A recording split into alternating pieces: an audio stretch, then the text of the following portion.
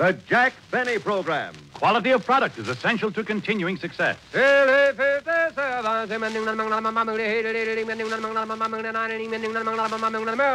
Let that historic chant remind you that year in, year out, Lucky Strike means fine tobacco. It takes fine tobacco to make a fine cigarette. And LSMFT. Lucky Strike means fine tobacco. Yes, Lucky Strike means fine tobacco. In a cigarette, it's the tobacco that counts. And season after season, at market after market, independent tobacco experts, auctioneers, buyers, and warehousemen can see the makers of Lucky Strike consistently select and buy that fine, that light, that naturally mild tobacco. Fine, light, naturally mild tobacco. No doubt about it. Lucky Strike means fine tobacco. And fine tobacco means real deep down smoking enjoyment for you. So smoke that smoke of fine tobacco, Lucky Strike. So round, so firm, so fully packed, so free and easy on the draw.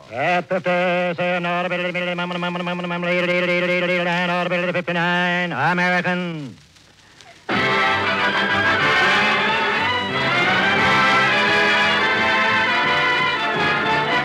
The Lucky Strike program starring Jack with Mary Livingstone, Phil Harris, Rochester, Dennis Day, and yours truly, Don Wilson.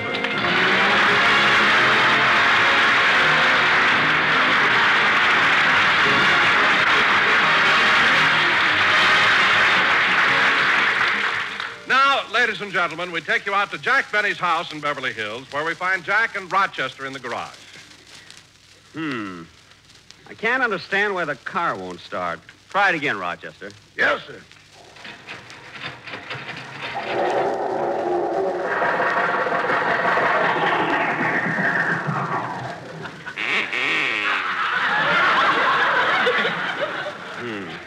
Try it again, Rochester. Okay.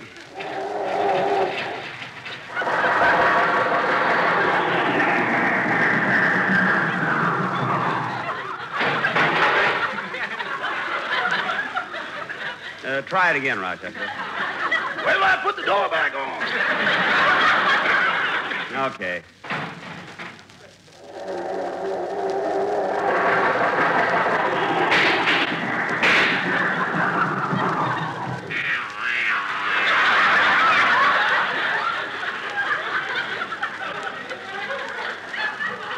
Well, that's more like it. Rochester. Rochester, it didn't start. No, but the door stayed on. Oh, good, good. I can't, I can't understand what's wrong. Maybe the motor's worn out. Oh, no, that's impossible. The speedometer only says 88,000 miles. Oh, come now, boss. We pushed it further than that. Well, you better go up, and, go in the house and call Mr. Harris and tell him to pick me up on his way to the studio. you? Oh, I did that before we came out to the garage. Oh, then you knew there was something wrong with the. Rochester, did you use my car last night? Well, uh, Rochester, I just found a bobby pin on the front seat. a bobby pin. Yeah. What are you laughing at? There's only two of us here, and it ain't mine.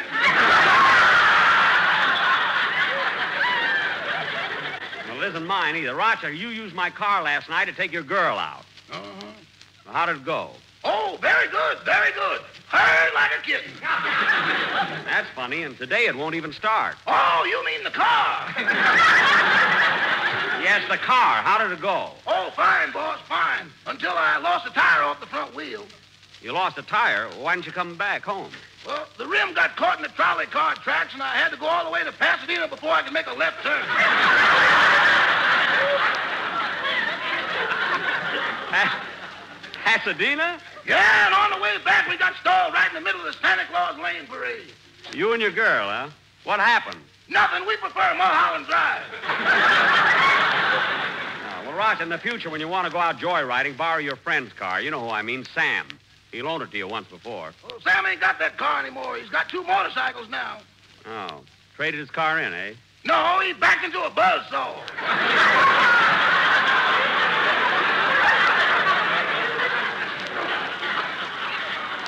Oh, my goodness. Did Sam get hurt? No, but if he hadn't leaned over to put down the window, he'd have been twins. Well, look, Rochester, there's no use working with this any longer. Okay, Jackson, I'm here. Be right with you, Phil. So long, Rochester. I'll see you after the broadcast. Yes, sir.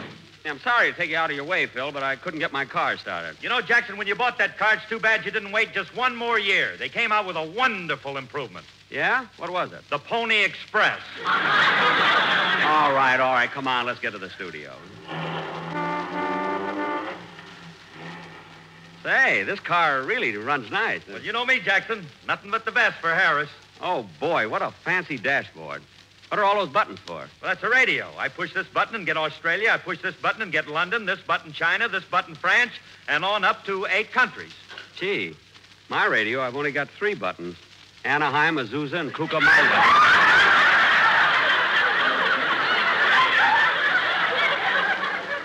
I can only get Anaheim when I'm in Azusa. How do you get Cucamonga? Short wave. They got a wonderful program from there, too. John's Other Smudge Pot. I never miss it, you know. Oh, boy. Phil, this is really a swell car. How much did it cost, Phil? $3,500. $3,500. Gee, I wish I had two shows.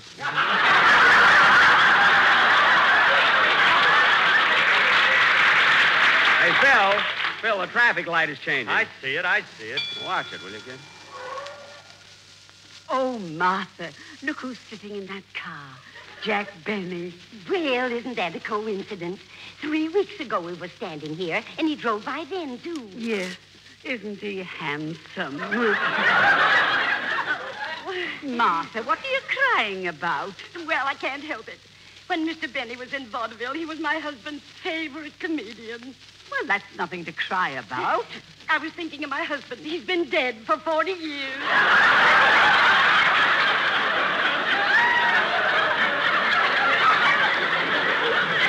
Oh, say, Martha, I've just noticed who's sitting next to Mr. Benny. Who? Look, Well, box back my coat and button my shoes if it isn't ham hocks and turnip greens.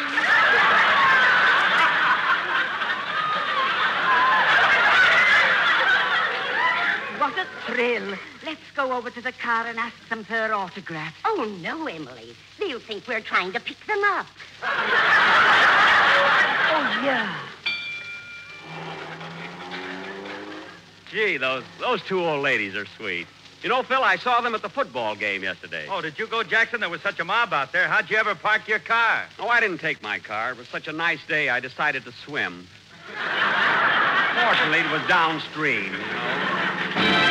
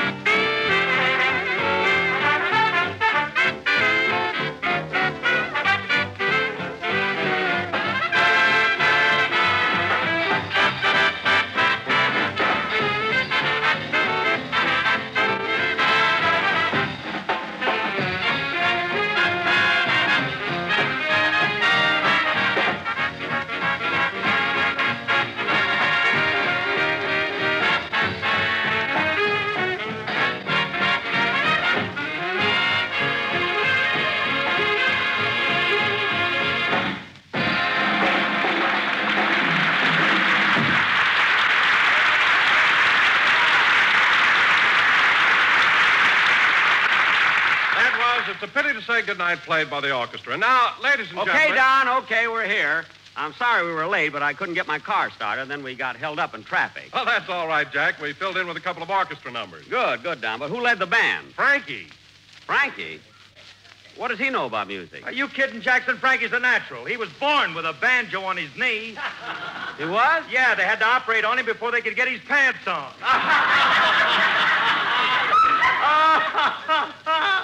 Keep that up and you'll be another Carmen Lombardo, Philsy. I'll settle for anybody.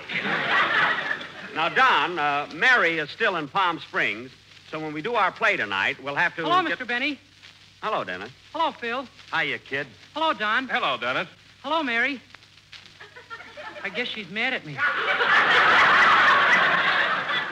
Dennis, she's not mad at you. Mary isn't here. She's in Palm Springs. Oh. Now, Don, Well, if she isn't mad, why doesn't she call me up? she has no reason to call. Dennis, take my word for it. If Mary were here, she'd say hello to you. Oh, yeah? Well, I wouldn't even answer her. All right, all right. Don't answer her. Now, Don. Yes, Jack. As you know, two weeks ago we were going to do our version of The Killers, but we had to postpone it until tonight. Who does she think she is, anyway?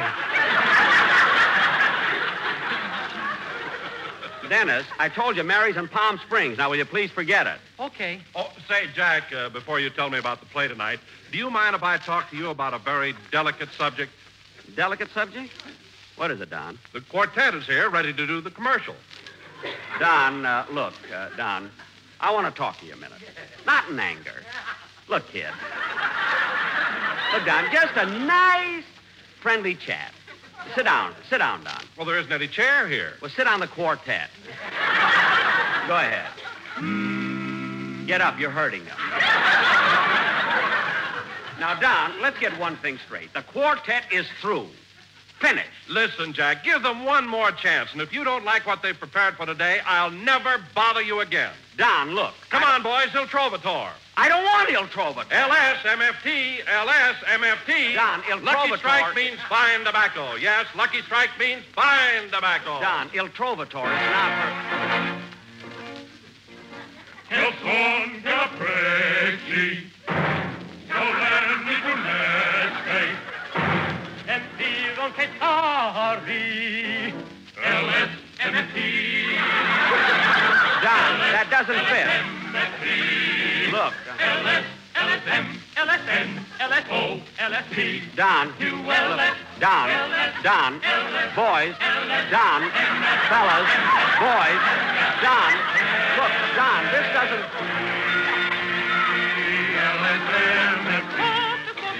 tobacco, yes, fine tobacco.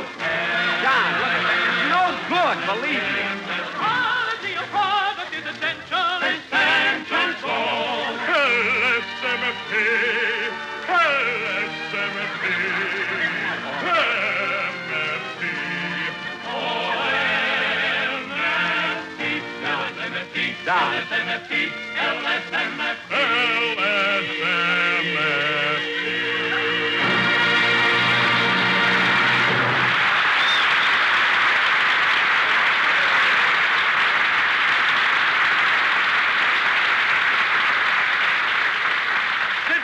that applause, Jack? They were sensational. Don, I don't care if they applaud all night. Opera has no place on this program. All right, Jack, then listen to this. Don, I've Take had it, boys. Holiday for strings. Holiday for... LSMFT, my Don. U-N-R-A-I-L-O-V-E-U, I do. R-S-E-P-D-Q, am for you? Babe. Wait a minute. Wait a minute. Fellas, wait a minute. R-S-E-P-D-Q. Wait a minute!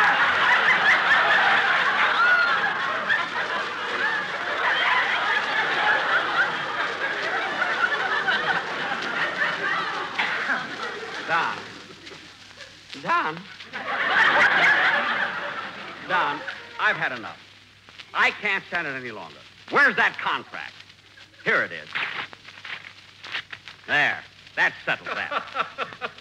Ah, Jack, I don't blame you if you feel that way about the quartet. That's the best thing to do. Tear up the contract. Their contract, that was yours. What? Hey, Dennis, I guess that'll hold him for a while.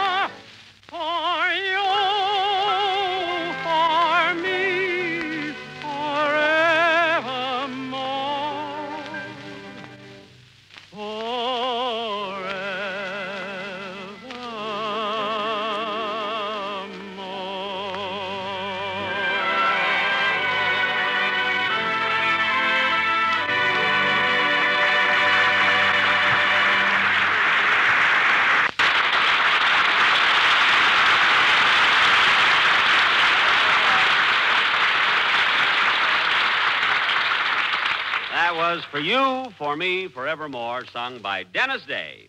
Very good, Dennis. Hello, Mary. What, what was that? I'm giving her one more chance. Oh, go sit down. Okay. Tonight, for our Not on the Quartet. Find a chair.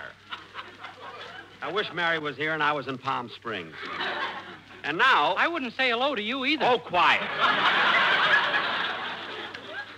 And now, ladies and gentlemen, tonight, as our feature attraction, we're going to do our version of Mark Hellinger's thrilling, exciting Universal International picture, the famous Hemingway story, The Killers.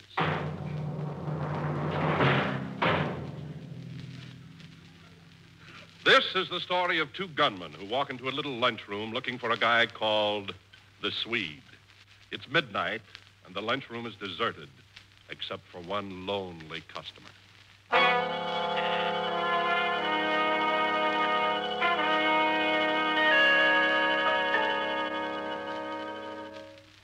Well, I think I'll have a bite to eat and then go home. Yeah, I wish I could close up and go home myself. This place is quieter than a coal mine.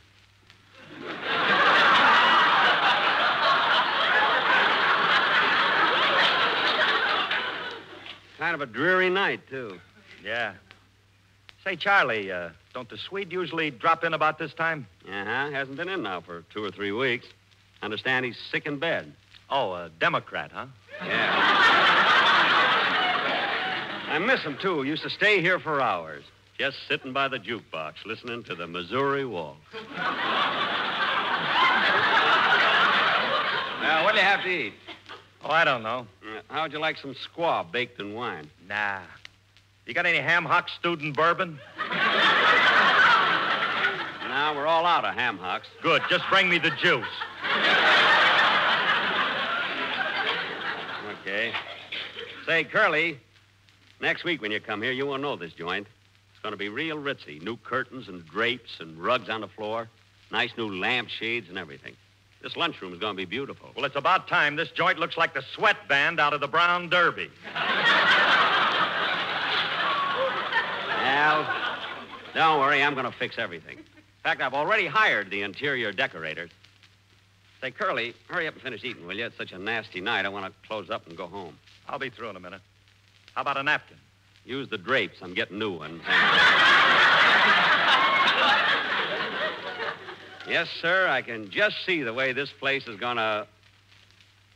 Hmm. What's the matter, Charlie? Look out the window. Two guys just stepped off the curb and are crossing the street. I never seen them before. Yeah. They look kind of tough. Hey, I'm getting out of here. No, no, no, don't go. I don't want to be here alone. One of them guys it looks like Edward G. Robinson. Hey, look, they're coming this way. Yeah.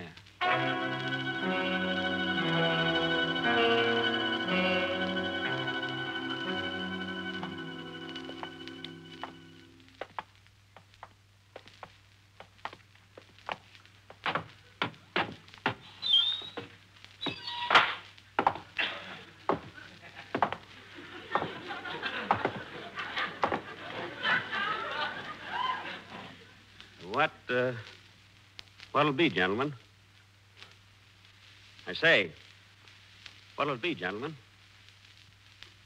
Gentlemen, what'll it be? What are you shaking for, Blue Eyes?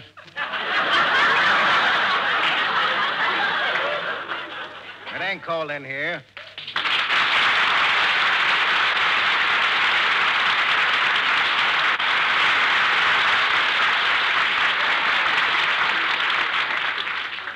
I'm getting ready to close up, gentlemen, so if you want something to eat, you better order it. Hey, uh, Slugger. What is it, Eddie?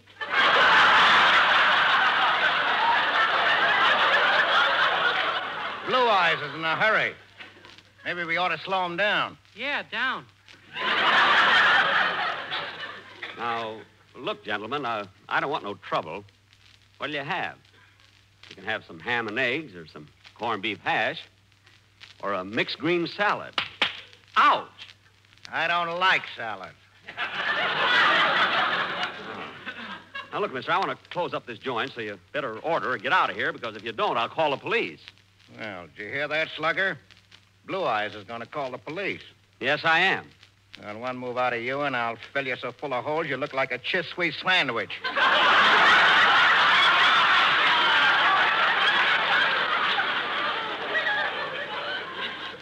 That's Swiss cheese. Now, don't tell me how to get a laugh.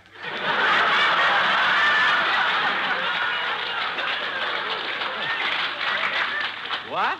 It amuses Slugger. Yes.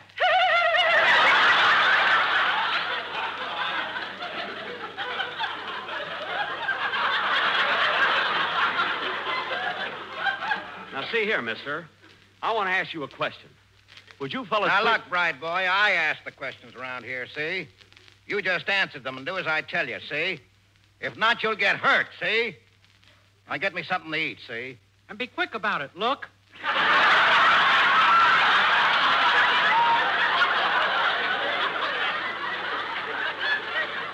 Look. Where? Oh, shut up, Slugger. Now, wait a minute.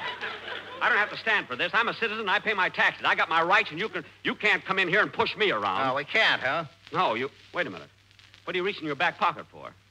Just my handkerchief. Your handkerchief? Yeah. You must have a bad cold. Yeah. I just took those shots for it. oh, Eddie, you keep and you'll be another Phil Harris.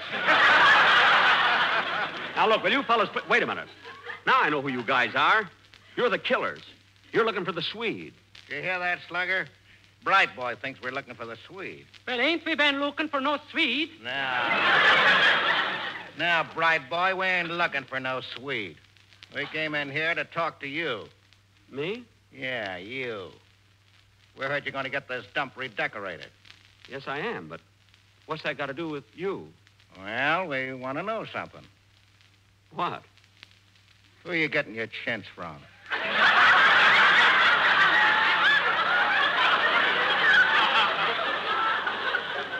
chintz? Yeah. And the silk lining for your drapes. I'm not going to have them lined. Ho, ho, do you hear that? Now listen, bright boy. You're going to have drapes and you're going to have them lined. You're getting them from us, see? I can't get them from you. I'm buying all my curtains and drapes from Johnson and Company, right on the corner.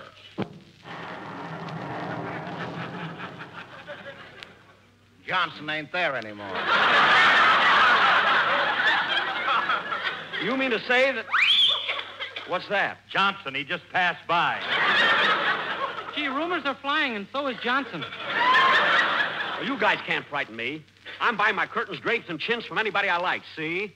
And that gun in your hand ain't scaring me either, see? I don't even think you can shoot straight. Oh, I can't, huh?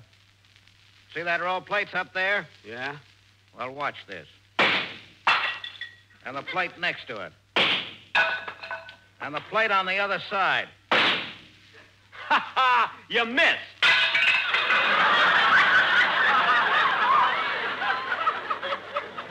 hmm. I put a curve on that one. Yeah? Well, I'm not afraid of you now. You took three shots before and three shots now. You're out of bullets. Uh, no, I ain't, bright boy. This is a Eversharp gun.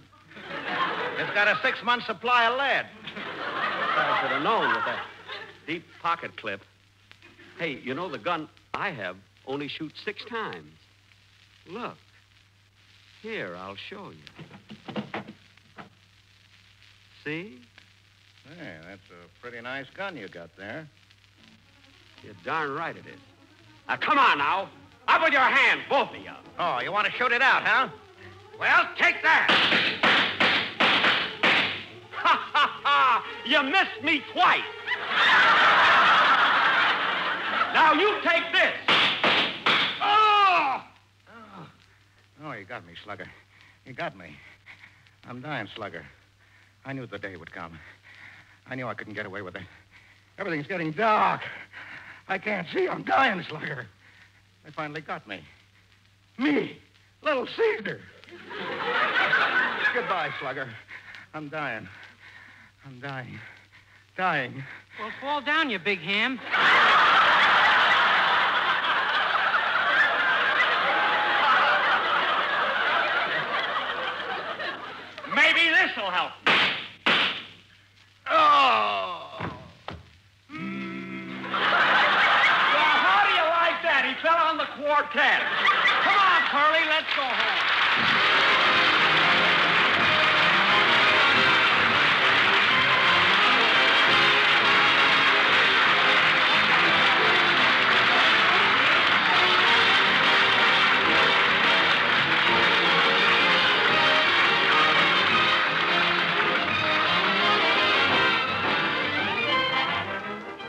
Will be back in just a minute, but first, here is my good friend, Mr. L.A. Speed Riggs.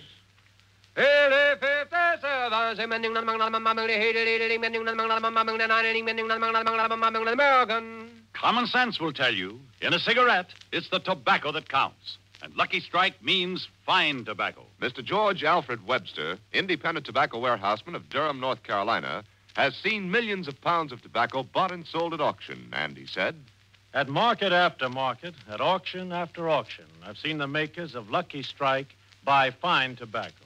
Tobacco that makes one grand smoke. I've smoked Lucky's myself for 29 years.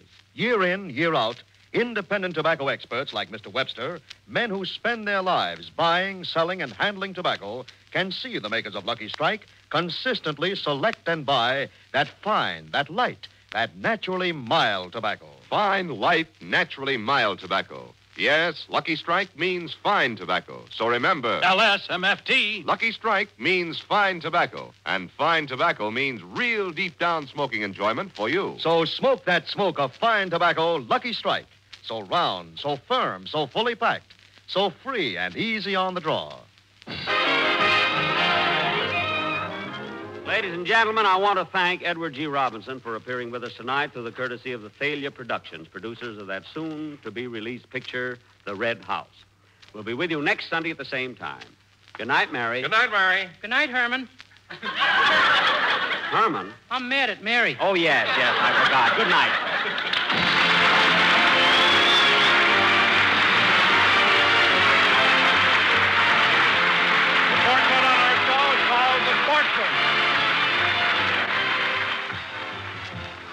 This is NBC, the national broadcasting company.